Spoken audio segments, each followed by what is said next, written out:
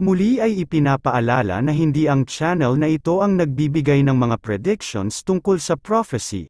Ito ay naglalahad lamang ng iba't ibang pananaw at kaalaman ng mga tao o grupo, upang kayo ay mabigyan ng kaalaman, kamalayan, at sapat na batayan sa inyong mga paniniwalaan at pasya, wala sa channel na ito ang magsabi kung ito ay naniniwala o hindi naniniwala sa mga bagay na ito.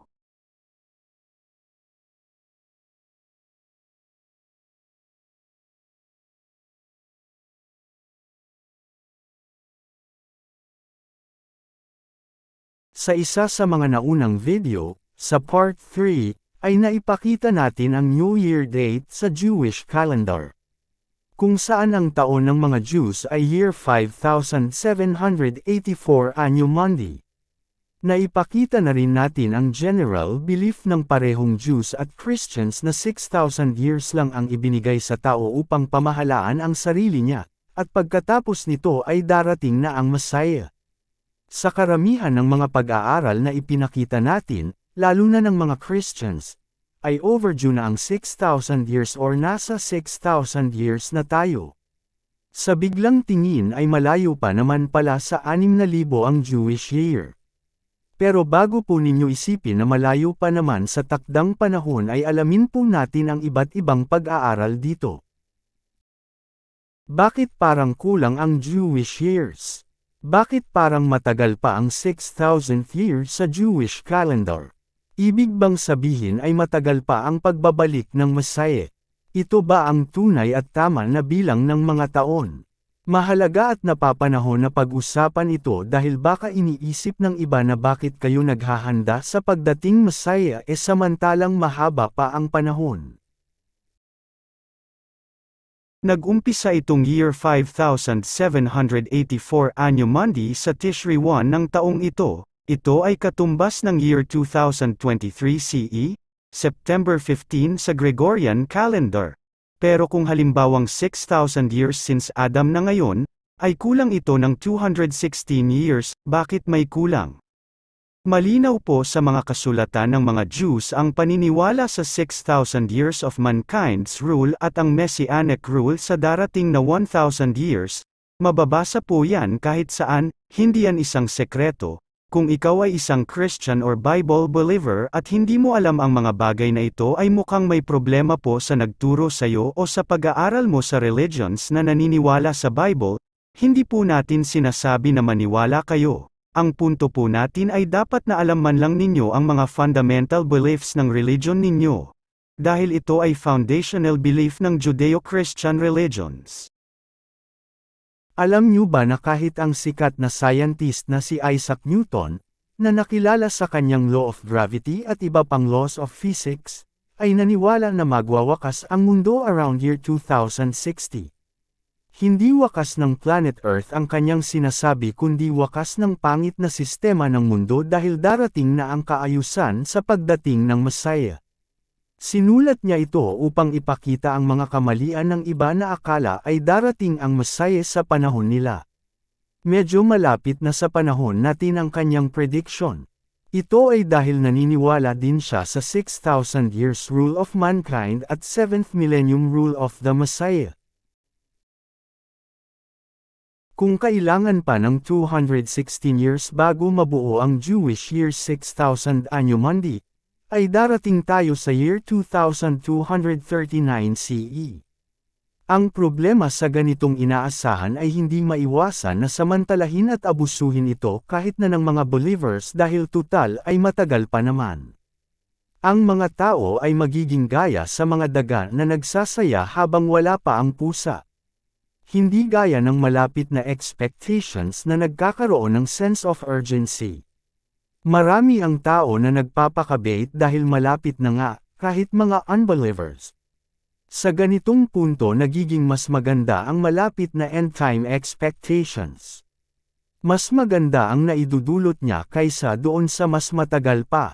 Ang isang aspeto pa ng usapin na ito sa labas ng religion ay ang lomo-lobo na world's population. Mahabang panahon ang kinailangan bago umabot sa 1 billion ang population ng mundo. Noong 1800 lang ito naging 1 billion. Pero mula doon ay biglang lumobo ito. Naging 2 billion ito noong 1900s. Naging 7 billion bago dumating ang year 2020.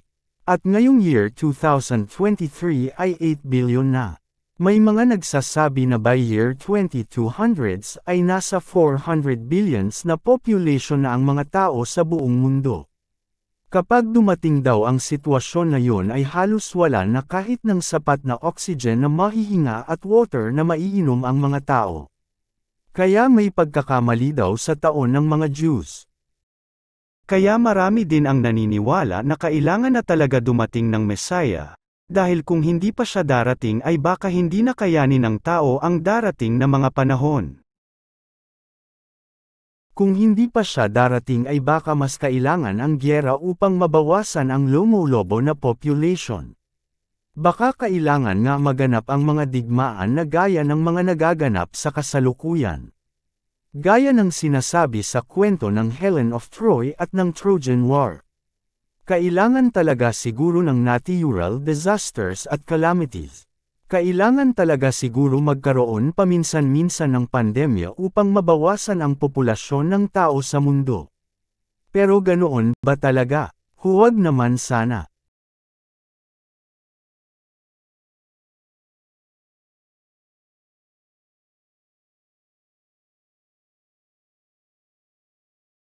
Kulang ba talaga ang Jewish years, o baka naman ang Christians ang sobra ang years, yan ang aalamin natin sa video na ito.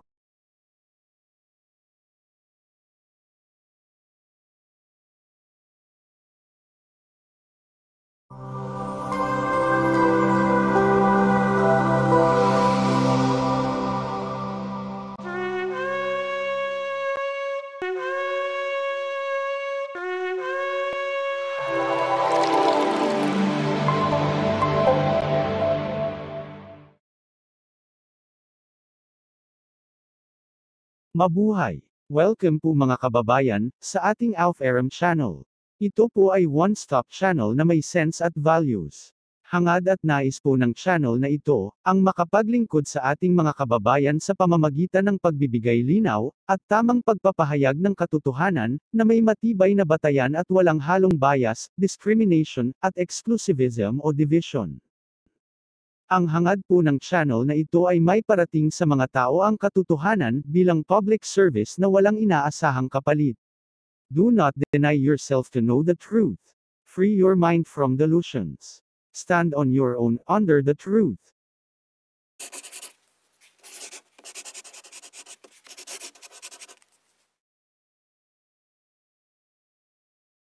Matagal nang usapin ang discrepancies ng Jewish year sa historical year o academic year, ang tawag dito ay the missing years.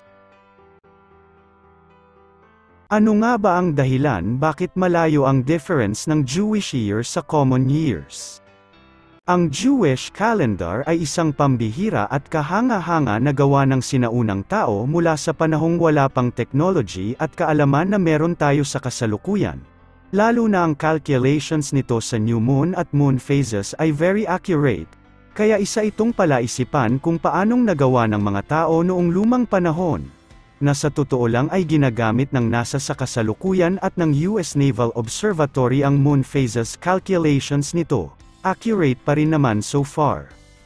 Hindi po natin sinasabi na perfect ang Jewish calendar, marami din itong kamalian, gaya ng weekly cycles o calendar week, Saturday, Sabbath, sunset na start ng day, at marami pang iba, pero hindi po natin tatalakayin dito ang lahat ng mga kamalian na yan, ang tatalakayin natin dito ay tungkol sa bilang ng Jewish years, noong una ay wala namang Jewish year. Ang Jewish year ay nagumpisang gamitin noong 2nd century CE.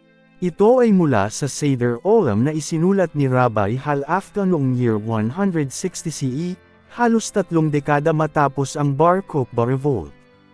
Ito ay mga bilang ng taon batay sa mga taon mula sa creation of Adam. Hindi pa tinatawag na Anno Mundi ang Jewish year sa mga panahon na iyon. Ang Anno Mundi na tawag sa Jewish year ay lilito bandang 12th century na, sa panahon ni Rabbi Maimonides, Halos mahigit isang libong taon pa ang lilipas mula nang magawa ang Seder Olam, at ito na ang ginagamit ng mga Jews hanggang ngayon, ito ay naipaliwanag na po natin sa naunang video, panuorin nyo na lang po kung hindi nyo pa po napapanood. Suriin natin saglit ang Seder Olam kung paano nito nabuo ang bilang ng mga taon, paglilinaw lang po. Ang Seder Olam na tinutukoy natin ay ang tinatawag ngayon na Seder Olam Rabbah o the Great Order of the World, dahil may samiput na isa pang Seder Olam noong year 803 CE pero mas maliit kaya tinawag naman na Seder Olam Zuta, mula noong 12th century ay tinawag na Seder Olam Rabbah ang mas nauna at mas malaki at ito ang tatalakayin natin ngayon.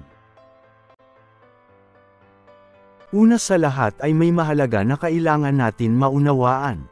Gaya ng sinasabi natin sa mga nakaraan, na ang Bible ay hindi science textbook kaya wag natin ihahambing sa science textbooks. Ganoon din, sinasabi naman natin ngayon, na ang Bible ay hindi history textbook kaya wag natin ihahambing sa history textbooks. Kapag nakakita ng hindi pagkakatugma ng Bible sa history na gamit sa academic and conventional information, ay hindi ibig sabihin na mali ang Bible. Dapat lang maunawaan na ang Bible ay ibinigay sa atin as a revelation upang magsilbing spiritual inspiration sa ating lahat. Bukod dyan, ang mga nagsulat sa Bible ay mga sinaunang tao na walang access sa technology, libraries, encyclopedias, at internet search engines na meron tayo ngayon. Kaya wag natin sila asahan sa mga bagay na meron tayo sa panahon natin ngayon. Ibig sabihin ang Biblia ay may kasabay na human elements, hinahayaan ng Elohim ang mga ganitong bagay kung paanong hinayaan din ng Masaya ang mga kasulatan na inabutan niya noong kapanahunan niya na alam natin na may mga kapintasan. Dahil nga ang Biblia ay ibinigay para magbigay inspiration at hindi education. Mag-umpisa po muna tayo sa basic para hindi kayo mabigla, sa dami ng numbers at countang. Umpisahan natin sa umpisa ng pagbibilang ng Seder Olam upang maunawaan natin paano nila nabuo ang bilang na ito.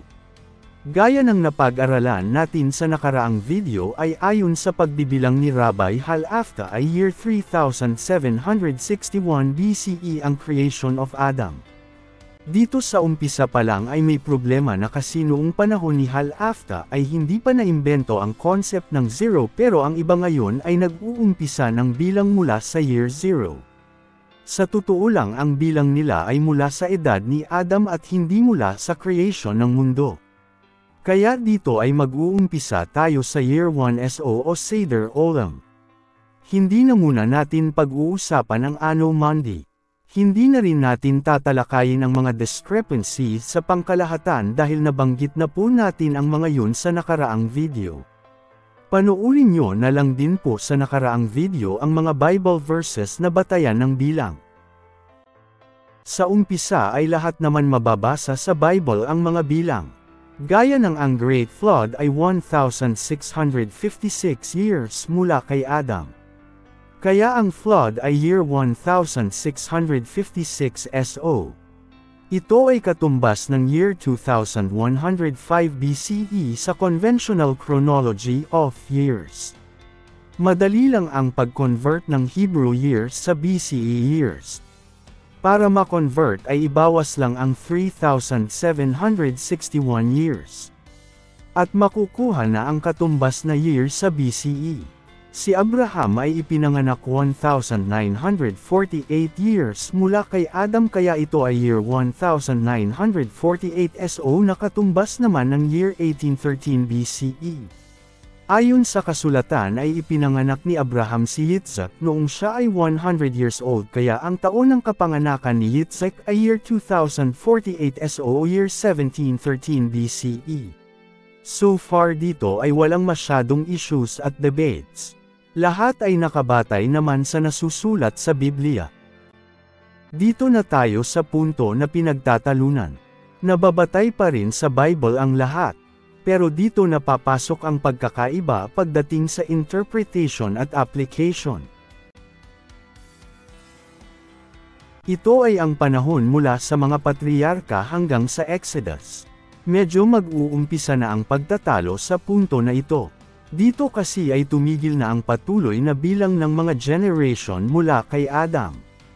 Kinailangan ng kumuha ng cross-reference sa ibang bahagi ng kasulatan.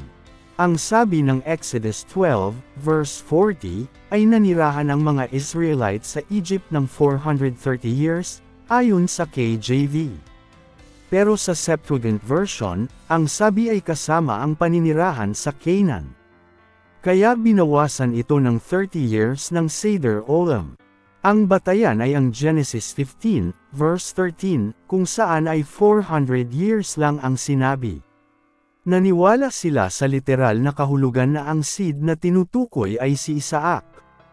Kaya ang bilang ay nagmula kay Isaac. Kaya para sa Seder Olam ang Exodus ay naganap noong year 2448 SO na katumbas ng 1313 BCE. Ayon sa 1 Kings 6, verse 1, ay may 480 years mula sa Exodus hanggang sa pagpapatayo ng First Temple.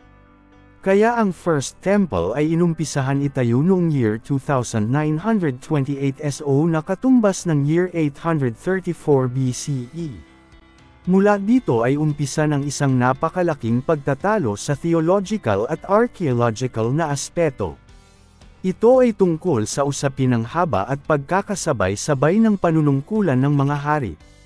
Lalo na kung ihahambing sa paghahari ng mga hari sa Juda, sa Israel, at sa Assyria at Persia. Ganun pa man, ang Seder Olam ay sinunod ang traditional na paniniwala na ang destruction ng temple ay naganap noong year 3338 SO na katumbas ng year 423 BCE. Sa puntong ito ay wala nang batayan ng mga taon mula sa Biblia ang Seder Olam. Kaya maaaring may mga naganap dito na dagdag bawas sa mga taon. At sa puntong yan ay wala pa po tayo sa tinatawag na missing years. Ituloy po natin ang pagbilang. Ngayon ay dam ako na tayo mula sa First Temple hanggang sa Second Temple.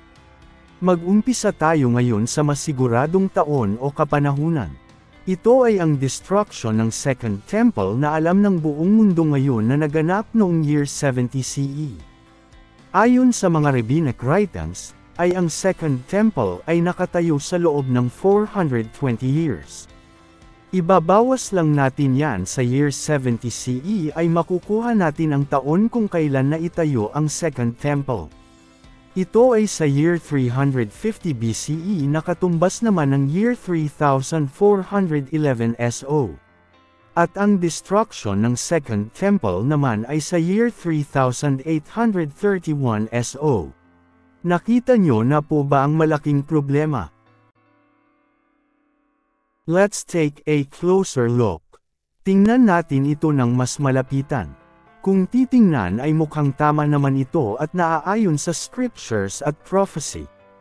Ayon sa Jeremiah 29, verse 10, ay 70 years ang ibinigay ng Elohim na panahon para sa Babylonian exile ng kanyang bayan at pagkatapos noon ay papauwiin na sila sa Jerusalem. Kung titingnan dito ay ang mga taon sa pagitan ng pagkawasak ng First Temple sa year 3338 SO at sa pagkakatayo ng Second Temple ay year 3411 SO ay binubuo ng 73 years. Ang 3 years ay ibigay na natin sa margin of errors. Kaya malapit nga ito sa 70 years ayon sa prophecy. Kaya lang ay kung titingnan sa pangkalahatan na conventional at historical dating ay naganap ang paglusob ng Babylonian sa Jerusalem kung kailan winasak ang First Temple noong year 586 BCE. Dito sa illustration natin ay may 163 years na pagitan. Sa iba ay ranging from 165 to 166 years difference pero e-consider na rin na rin natin as margin of errors, give or take. Tolerable naman ang ganyang variance dahil alam naman natin na may margin of errors. Pero ang 163 years to 166 years na difference ay hindi pwedeng pabayaan dahil sobrang laki ng mga taon na nawawala. Ito ang tinatawag na missing years. Ito ay ang mga taon sa pagitan ng conventional year ng pagwasak ng Babylonian sa First Temple sa Jerusalem at ng Seder Olam year. Maraming mga hypothesis o paliwanag kung ano ang dahilan nito. May nagsasabi din na sinadyang itago ng mga rabbis ang mga taon na ito upang matapat ang messianic prophecy kay Bar Kokhba, lalo na ang 77s ni Propeta Daniel. Dapat ninyo malaman na ang gumawa ng Seder Olam na si Rabbi Hal-Afta ay tagasunod ni Rabbi Akiva. Si Rabbi Akiva naman ang nagdeklara na si Bar Kokhba ang hinihintay nila na Masaya na magpapalaya sa kanila mula sa mga Romano. May video po tayo tungkol sa 77's prophecy ni Prophet Daniel at kung paano ito naganap sa panahon ng True Messiah. Panuurin po ninyo pagkatapos ng video na ito ang Modern Israel in Prophecy. Kung itutuloy natin ang pagbibilang nga mga taon ng Seder Olam papunta sa kasalukuyan, ay mula year 70 CE ay may 1,953 years. Gagawin na nating Anno Mundi o AM mula year 1000 CE dahil ilang taon na lang mula dito ay mag-uumpisa ng gamitin ng mga Jews ang Anno Mundi. Madali lang ang formula ng conversion from CE to AM. Idagdag lang sa CE year ang 3,761 years SA, ay makukuha na ang katumbas na Jewish year. Mapapansin na may mga missing years sa Jewish years para mabuo ang 6,000 years. Ito ay dahil nga sa hindi pagkakatugma ng Jewish event dates sa conventional dates ng academic history. Kaya now forward ang start of counting. Pero kung mahahanap ang missing years na ito, ay may sisingit sa dapat nitong kalagyan at uusog ng paatros ang timeline na ito at mapupunan ang gap. Sabi ng iba ay sadyang itinago daw ito ng mga Jewish rabbis. May nagsasabi naman na binago daw para paboran si Bar Kokhba bilang Messiah.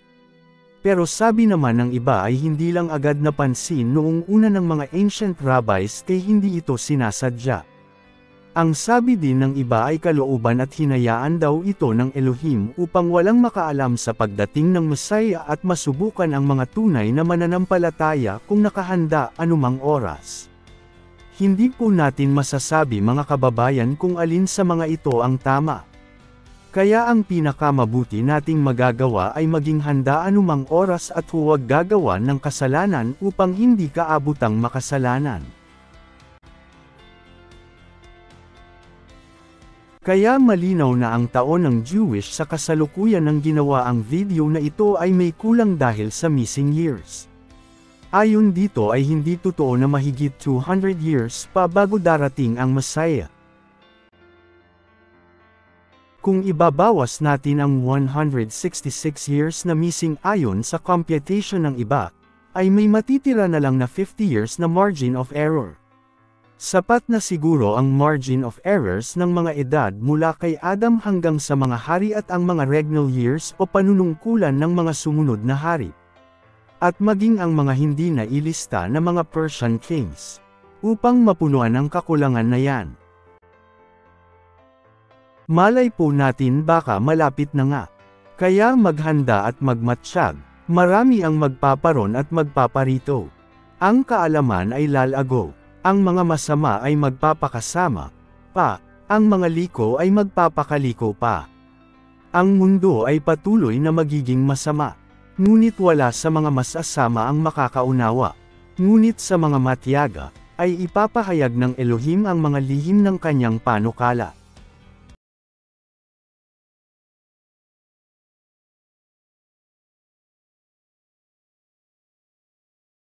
Hindi natin ito ipinapakita upang siraan ang mga Jews at kanilang rabbis. Ipinapakita natin ito upang malaman na may kulang ang taon nila at kung ano ang malapit sa tunay na bilang ng mga taon. Yun lamang po mga kababayan.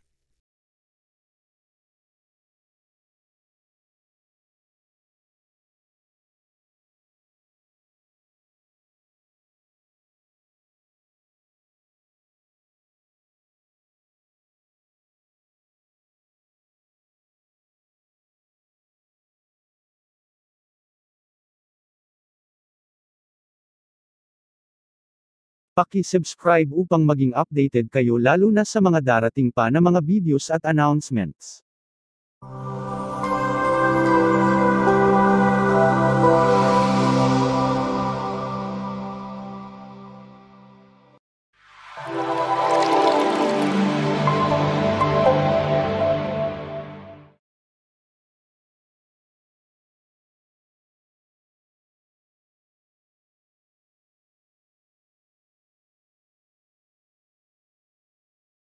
Kung inyo pong mamarapatin, ay bukod po sa pag-subscribe, ay paki-like po ang aming video kung inyong nagustuhan, at pakisuyo na rin po na e-share at huwag kalimutan na pindutin ang notification bell. Kung kayo po ay may katanungan, puna, at anumang concern ay paki-comment po sa ibaba. Kababayan, maraming salamat po ulit sa inyong panahon at panunood. Huwag po ninyong kalimutan na ibahagi ang channel na ito at ang mga videos nito upang mas marami pa ang makaalam ng katotohanan at mabuting balita. Yan lang po ang maliit na pabor na hinihiling namin. Muli, ay maraming, maraming, salamat po sa inyong mga kababayan. Mabuhay po kayong lahat, hanggang sa muli.